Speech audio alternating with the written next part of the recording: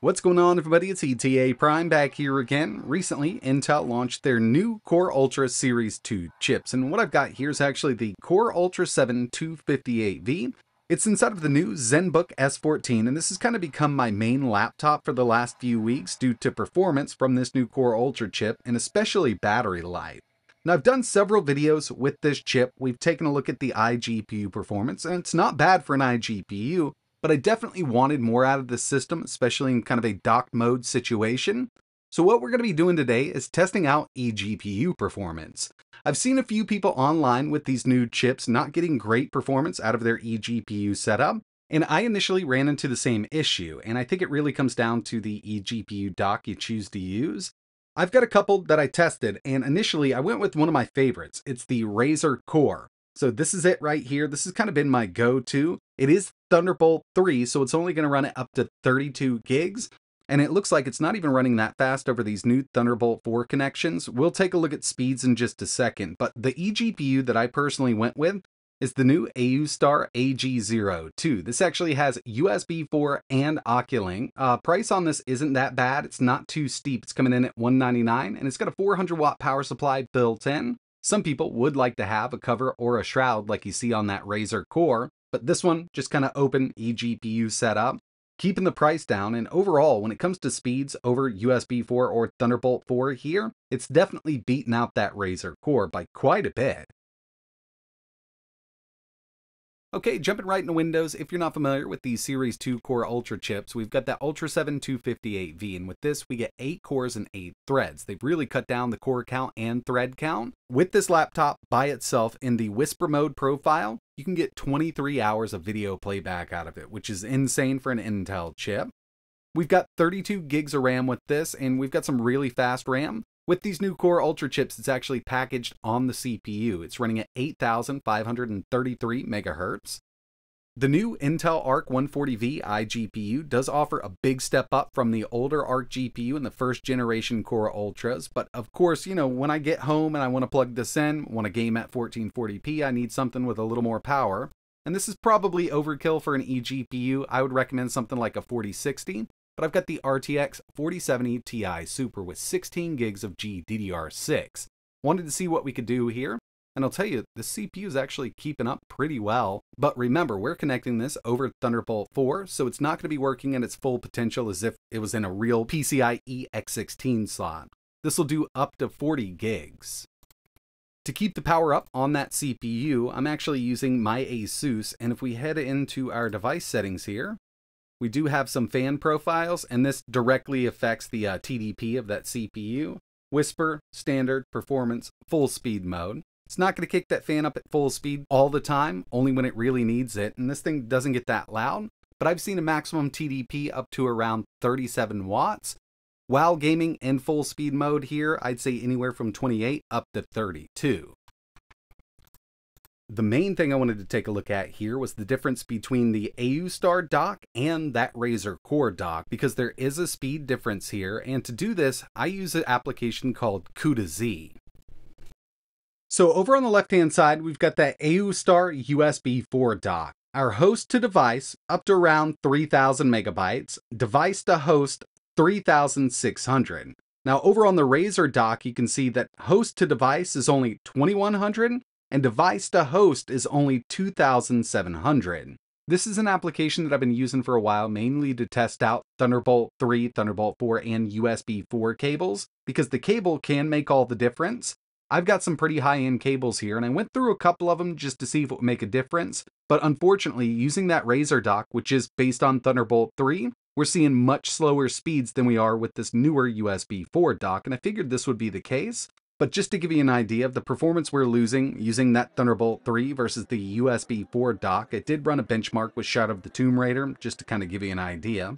Maxed out settings, 1440p. Only difference here is one is using that AOOSTAR dock, the other is using the Razer dock. And just from the FPS counter up top, it's kind of obvious which one is which. And if we were running, let's say, synthetic benchmarks using 3D Mark, the difference isn't all that much. But when it comes to real world gaming, Using this Thunderbolt 3, we get a lot more dips, and at the end of this, Using the Thunderbolt 3 Razer dock, we had an average of 102 FPS. With the new USB 4 dock, we had an average of 132. I mean, that's a jump of 30 FPS there. That's a pretty significant drop, and some newer games might even get less out of using Thunderbolt 3 due to all of the technologies that need to be used through this NVIDIA card. Now, I didn't test AMD here, and if you'd like to see AMD paired up with something like this, let me know in the comments below.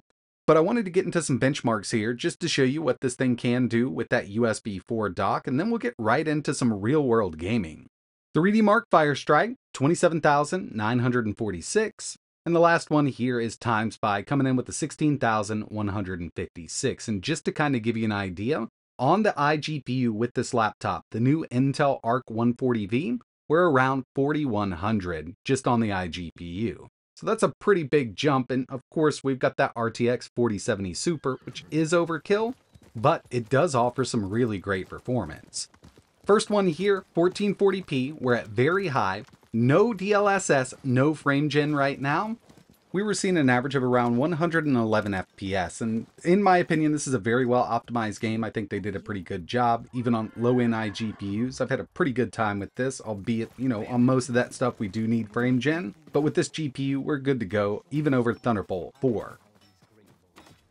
Next up, Cyberpunk 2077 1440p Ultra, and I did take DLSS to quality.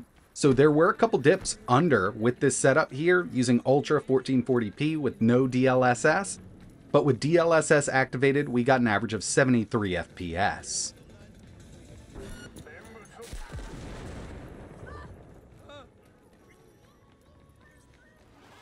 Moving over to Forza Horizon 5, 1440p ultra settings, and I'm pretty sure we'd be able to run this at extreme. We'd probably see averages in the mid 70s with extreme enabled. I've just had a really good time with this game, and basically any RTX 4000 series, even the 4060 handles this just fine.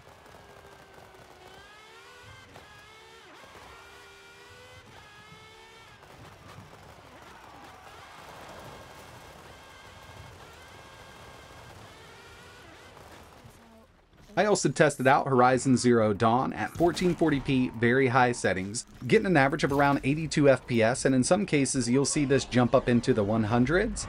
And those fluctuations really come down to being connected over Thunderbolt. This isn't going to run at that stable connection, so theoretically we should be able to get 40 gig transfer speeds from the eGPU over to the system, where in fact around 34, and in some cases it does dip down to around 28. So yeah, you will get those fluctuations with a connection like this. Ratchet and Clank, Rift Apart, 1440p, very high. DLSS, I had to go to quality with it just like Cyberpunk. Believe it or not, this is actually a really hard game to run at those higher resolutions, especially if you have ray tracing maxed out. Now, ray tracing is completely off, but I'm sure we could do it with some frame generation. So it's just at very high DLSS quality, still looks great, and it's a real fun game to play.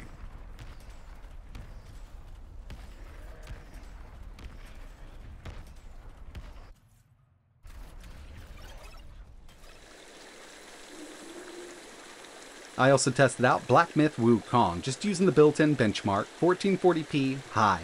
And initially, I went into this with DLSS set at 50%. We're seeing the same kind of frame rate if we want to scale it down, but I think FrameGen is the way to go, especially on an NVIDIA card like this. And at the end of this, we had an average of 108 FPS.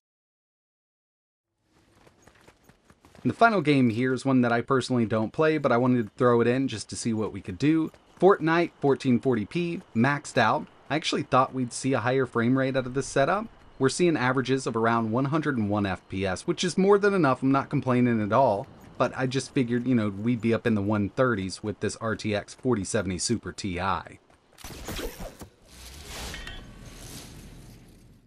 So originally going into this with the Thunderbolt 3 dock, I really wasn't that impressed with the performance using an eGPU and the new Intel Core Ultra chips, but after swapping over to a much faster dock, it definitely works out pretty well.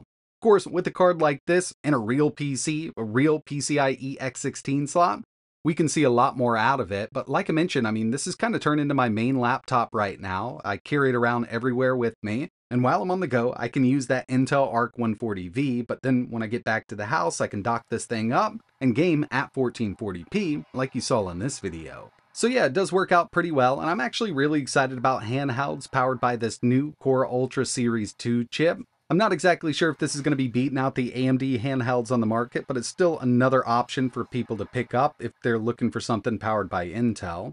But that's going to wrap it up for this video. I really appreciate you watching. If there's anything else you want to see running on this laptop, just let me know in the comments below.